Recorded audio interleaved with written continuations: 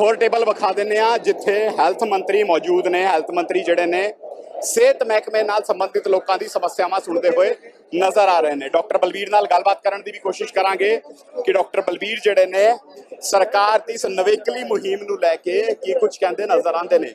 ਕਿਉਂਕਿ ਸਰਕਾਰ ਦੀ ਨਵੇਕਲੀ ਮੁਹਿੰਮ ਹੈ ਔਰ ਇਸ ਮੁਹਿੰਮ ਦੇ ਤਹਿਤ ਲੋਕ ਜਿਹੜੇ ਨੇ, ਉਹ ਸਰਕਾਰ ਦੇ ਨਾਲ ਸਿੱਧਾ ਰਾਬਤਾ ਕਾਇਮ ਕਰ ਰਹੇ ਨੇ। ਲੋਕਾਂ ਦੇ ਦਰਵਾਜ਼ੇ ਖੁਦ ਸਰਕਾਰ ਪਹੁੰਚੀ ਹੈ, ਲੋਕਾਂ ਦੇ ਸ਼ਹਿਰਾਂ ਦੇ ਵਿੱਚ ਜਾ ਕੇ ਉਹਨਾਂ ਦੀ ਸਮੱਸਿਆਵਾਂ ਸੁਣੀਆਂ ਜਾ ਰਹੀਆਂ ਨੇ।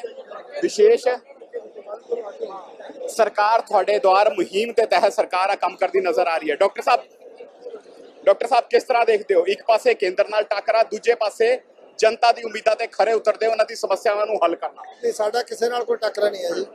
ਜਨਤਾ ਨੂੰ ਅਸੀਂ ਜਨਤਾ ਨੇ ਸਾਨੂੰ ਚੁਣਿਆ ਸੀ ਜਨਤਾ ਨੂੰ ਜਵਾਬ ਦਿਆ। ਜੀ। ਜਨਤਾ ਦੇ ਵਿੱਚ ਆਏ ਆ ਤਾਂ ਕਿ ਇਹਨਾਂ ਨੂੰ ਚੰਡੀਗੜ੍ਹ ਨਾ ਜਾਣਾ ਪਵੇ।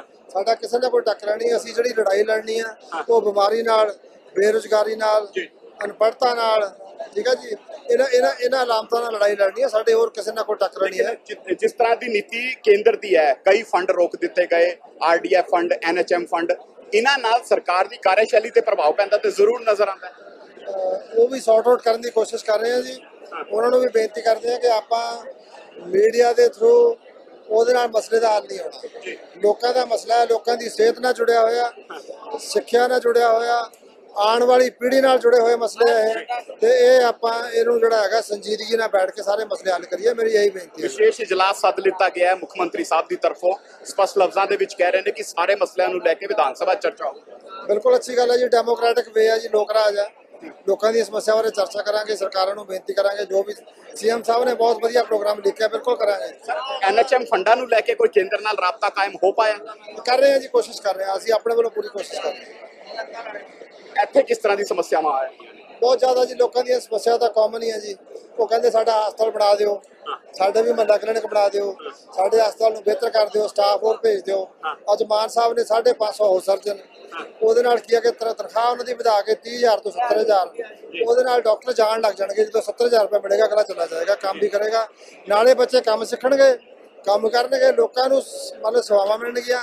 ਬੱਚਿਆਂ ਨੂੰ ਰੋਜ਼ਗਾਰ ਮਿਲੇਗਾ ਉਸ ਤੋਂ ਬਾਅਦ ਪੀਜੀ ਕਰਨ ਜਾਣਗੇ ਪੜ੍ਹ ਕੇ ਫਿਰ ਆਣਗੇ ਫਿਰ ਹੋਰ ਤਨਖਾਹ ਵਧਾਵਾਂਗੇ ਫਿਰ ਹੋਰ ਵਧੀਆ ਕੰਮ ਕਰਨਗੇ ਇਸ ਤਰ੍ਹਾਂ ਦਾ ਸਕੀਮ ਬਣਾ ਰਹੇ ਹਾਂ। ਬਿਲਕੁਲ ਦੇਖੋ ਸਿੱਧੇ ਤੌਰ ਤੇ ਸਰਕਾਰ ਦਾ ਕੀ ਵਿਜ਼ਨ ਹੈ ਉਸ ਦੇ ਬਾਰੇ ਵੀ ਇਹਨਾਂ ਨੇ ਜਾਣਕਾਰੀ ਦਿੱਤੀ ਹੈ ਕਿ ਕਿਸ ਢੰਗ ਦੇ ਨਾਲ ਸਮੱਸਿਆਵਾਂ ਲੋਕਾਂ ਦੀ ਸੁਣੀਆਂ ਜਾਣਗੀਆਂ। ਇੱਕ ਹੋਰ ਟੇਬਲ ਵਿਖਾ ਦਿੰਨੇ ਆ ਜਿੱਥੇ ਹੈਲਥ ਮੰਤਰੀ ਮੌਜੂਦ ਨੇ ਹੈਲਥ ਮੰਤਰੀ ਜਿਹੜੇ ਨੇ ਸਿਹਤ ਮਹਿਕਮੇ ਨਾਲ ਸੰਬੰਧਿਤ ਲੋਕਾਂ ਦੀ ਸਮੱਸਿਆਵਾਂ ਸੁਣਦੇ ਹੋਏ ਨਜ਼ਰ ਆ ਰਹੇ ਨੇ। ਡਾਕਟਰ ਬਲਬੀਰ ਨਾਲ ਗੱਲਬਾਤ ਕਰਨ ਦੀ ਵੀ ਕੋਸ਼ਿਸ਼ ਕਰਾਂਗੇ ਕਿ ਡਾਕਟਰ ਬਲਬੀਰ ਜਿਹੜੇ ਨੇ ਸਰਕਾਰ ਦੀ ਇਸ ਨਵੇਕਲੀ ਮੁਹਿੰਮ ਨੂੰ ਲੈ ਕੇ ਕੀ ਕੁਝ ਕਹਿੰਦੇ ਨਜ਼ਰ ਆਉਂਦੇ ਨੇ? ਕਿਉਂਕਿ ਸਰਕਾਰ ਦੀ ਨਵੇਕਲੀ ਮੁਹਿੰਮ ਹੈ ਔਰ ਇਸ ਮੁਹਿੰਮ ਦੇ ਤਹਿਤ ਲੋਕ ਜਿਹੜੇ ਨੇ, ਉਹ ਸਰਕਾਰ ਦੇ ਨਾਲ ਸਿੱਧਾ ਰਾਬਤਾ ਕਾਇਮ ਕਰ ਰਹੇ ਨੇ। ਲੋਕਾਂ ਦੇ ਦਰਵਾਜ਼ੇ ਖੁਦ ਸਰਕਾਰ ਪਹੁੰਚੀ ਹੈ, ਲੋਕਾਂ ਦੇ ਸ਼ਹਿਰਾਂ ਦੇ ਵਿੱਚ ਜਾ ਕੇ ਉਹਨਾਂ ਦੀ ਸਮੱਸਿਆਵਾਂ ਸੁਣੀਆਂ ਜਾ ਰਹੀਆਂ ਨੇ। ਵਿਸ਼ੇਸ਼ ਸਰਕਾਰ ਤੁਹਾਡੇ ਦੁਆਰ ਮੁਹਿੰਮ ਦੇ ਤਹਿਤ ਸਰਕਾਰ ਆ ਕੰਮ ਕਰਦੀ ਨਜ਼ਰ ਆ ਰਹੀ ਹੈ। ਡਾਕਟਰ ਸਾਹਿਬ ਡਾਕਟਰ ਸਾਹਿਬ ਕਿਸ ਤਰ੍ਹਾਂ ਦੇਖਦੇ ਹੋ? ਇੱਕ ਪਾਸੇ ਕੇਂਦਰ ਨਾਲ ਟੱਕਰਾ ਦੂਜੇ ਪਾਸੇ ਜਨਤਾ ਦੀ ਉਮੀਦਾਂ ਤੇ ਖਰੇ ਉਤਰਦੇ ਉਹਨਾਂ ਦੀ ਸਮੱਸਿਆਵਾਂ ਨੂੰ ਹੱਲ ਕਰਨਾ। ਨਹੀਂ ਸਾਡਾ ਕਿਸੇ ਨਾਲ ਕੋਈ ਟੱਕਰਾ ਨਹੀਂ ਹੈ ਜੀ। ਜਨਤਾ ਨੂੰ ਅਸੀਂ ਜਨਤਾ ਨੇ ਸਾਨੂੰ ਚੁਣਿਆ ਸੀ ਜਨਤਾ ਨੂੰ ਜਵਾਬ ਦਿਆ। ਜਨਤਾ ਦੇ ਵਿੱਚ ਆਏ ਆ ਤਾਂ ਕਿ ਇਹਨਾਂ ਨੂੰ ਚੰਡੀਗੜ੍ਹ ਨਾ ਜਾਣਾ ਪਵੇ। ਸਾਡਾ ਕਿਸੇ ਨਾਲ ਕੋਈ ਟੱਕਰਾ ਨਹੀਂ ਅਸੀਂ ਜਿਹੜੀ ਲੜਾਈ ਲੜਨੀ ਆ ਉਹ ਬਿਮਾਰੀ ਨਾਲ ਬੇਰੁਜ਼ਗਾਰੀ ਨਾਲ ਜੀ। ਅਨਪੜ੍ਹਤਾ ਨਾਲ ਠੀਕ ਹੈ ਜੀ? ਇਹਨਾਂ ਇਹਨਾਂ ਇਹਨਾਂ ਅਲਾਮਤਾਂ ਨਾਲ ਲੜਾਈ ਲੜਨੀ ਆ ਸਾਡੇ ਹੋਰ ਕਿਸੇ ਨਾਲ ਕੋਈ ਟੱਕਰਾ ਨਹੀਂ ਹੈ। ਜਿ- ਜਿਸ ਤਰ੍ਹਾਂ ਦੀ ਨੀਤੀ ਕੇਂਦਰ ਦੀ ਹੈ ਕਈ ਫੰਡ ਰੋਕ ਦਿੱਤੇ ਗਏ ਆਰਡੀਐਫ ਫੰਡ ਐਨਐਚਐਮ ਫੰਡ ਇਹਨਾਂ ਨਾਲ ਸਰਕਾਰ ਦੀ ਕਾਰਜਸ਼ੈਲੀ ਤੇ ਪ੍ਰਭਾਵ ਪੈਂਦਾ ਤੇ ਜ਼ਰੂਰ ਨਜ਼ਰ ਆਉਂਦਾ ਹੈ। ਅਹ ਉਹ ਵੀ ਸੌਰਟ ਆਊਟ ਕਰਨ ਦੀ ਕੋਸ਼ਿਸ਼ ਕਰ ਰਹੇ ਆ ਜੀ।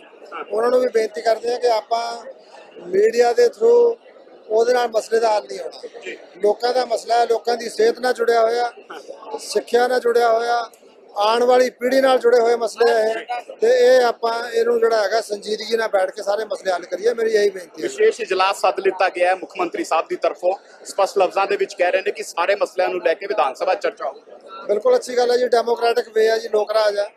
ਲੋਕਾਂ ਦੀ ਸਮੱਸਿਆ ਬਾਰੇ ਚਰਚਾ ਕਰਾਂਗੇ ਸਰਕਾਰਾਂ ਨੂੰ ਬੇਨਤੀ ਕਰਾਂਗੇ ਜੋ ਵੀ ਸੀਐਮ ਸਾਹਿਬ ਨੇ ਬਹੁਤ ਵਧੀਆ ਪ੍ਰੋਗਰਾਮ ਲਿਖਿਆ ਬਿਲਕੁਲ ਕਰਾਂਗੇ। ਐਨਐਚਐਮ ਫੰਡਾਂ ਨੂੰ ਲੈ ਕੇ ਕੋਈ ਕੇਂਦਰ ਨਾਲ ਰਾਬਤਾ ਕਾਇਮ ਹੋ ਪਾਇਆ? ਕਰ ਰਹੇ ਹਾਂ ਜੀ ਕੋਸ਼ਿਸ਼ ਕਰ ਰਹੇ ਹਾਂ। ਅਸੀਂ ਆਪਣੇ ਵੱਲੋਂ ਪੂਰੀ ਕੋਸ਼ਿਸ਼ ਕਰ ਰਹੇ ਹਾਂ। ਇੱਥੇ ਕਿਸ ਤਰ੍ਹਾਂ ਦੀ ਸਮੱਸਿਆਵਾਂ ਆ ਰਹੀਆਂ ਨੇ? ਬਹੁਤ ਜ਼ਿਆਦਾ ਜੀ ਲੋਕਾਂ ਦੀਆਂ ਸਮੱਸਿਆ ਤਾਂ ਕਾਮਨ ਹੀ ਹੈ ਜੀ। ਉਹ ਕਹਿੰਦੇ ਸਾਡਾ ਹਸਪਤਾਲ ਬਣਾ ਦਿਓ। ਸਾਡੇ ਵੀ ਮਹੱਲਾ ਕਲੀਨਿਕ ਬਣਾ ਦਿਓ। ਸਾਡੇ ਹਸਪਤਾਲ ਨੂੰ ਬਿਹਤਰ ਕਰ ਦਿਓ ਸਟਾਫ ਹੋਰ ਭੇਜ ਦਿਓ। ਅੱਜ ਮਾਨ ਸਾਹਿਬ ਨੇ 550 ਹਾਊਸ ਸਰਜਨ ਉਹਦੇ ਨਾਲ ਕੀ ਹੈ ਕਿ ਤਨ- ਤਨਖਾਹ ਉਹਨਾਂ ਦੀ ਵਧਾ ਕੇ 30000 ਤੋਂ 70000 ਉਹਦੇ ਨਾਲ ਡਾਕਟਰ ਜਾਣ ਲੱਗ ਜਾਣਗੇ ਜਦੋਂ 70000 ਰੁਪਏ ਮਿਲੇਗਾ ਅਗਲਾ ਚਲਾ ਜਾਏਗਾ ਕੰਮ ਵੀ ਕਰੇਗਾ। ਨਾਲੇ ਬੱਚੇ ਕੰਮ ਸਿੱਖਣਗੇ ਕੰਮ ਕਰਨਗੇ ਲੋਕਾਂ ਨੂੰ ਮਤਲਬ ਸੇਵਾਵਾਂ ਮਿਲਣਗੀਆਂ। ਬੱਚਿਆਂ ਨੂੰ ਰੋਜ਼ਗਾਰ ਮਿਲੇਗਾ ਉਸ ਤੋਂ ਬਾਅਦ ਪੀਜੀ ਕਰਨ ਜਾਣਗੇ ਪੜ੍ਹ ਕੇ ਫੇਰ ਆਣਗੇ ਫਿਰ ਹੋਰ ਤਨਖਾਹ ਵਧਾਵਾਂਗੇ ਫਿਰ ਹੋਰ ਵਧੀਆ ਕੰਮ ਕਰਨਗੇ ਇਸ ਤਰ੍ਹਾਂ ਦਾ ਸਕੀਮ ਬਣਾ ਰਹੇ ਹਾਂ। ਬਿਲਕੁਲ ਦੇਖੋ ਸਿੱਧੇ ਤੌਰ ਤੇ ਸਰਕਾਰ ਦਾ ਕੀ ਵਿਜ਼ਨ ਹੈ ਉਸ ਦੇ ਬਾਰੇ ਵੀ ਇਹਨਾਂ ਨੇ ਜਾਣਕਾਰੀ ਦਿੱਤੀ ਹੈ ਕਿ ਕਿਸ ਢੰਗ ਦੇ ਨਾਲ ਸਮੱਸਿਆਵਾਂ ਲੋਕਾਂ ਦੀ ਸੁਣੀਆਂ ਜਾਣਗੀਆਂ।